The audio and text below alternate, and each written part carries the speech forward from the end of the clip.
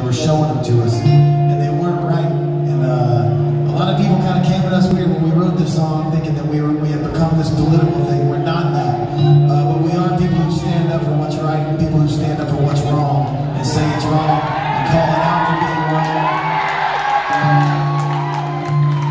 We couldn't really sit idly by and not write a song about certain injustices that we saw in our country to our brothers and our sisters. So. Uh, this is a song called Not Mad Enough.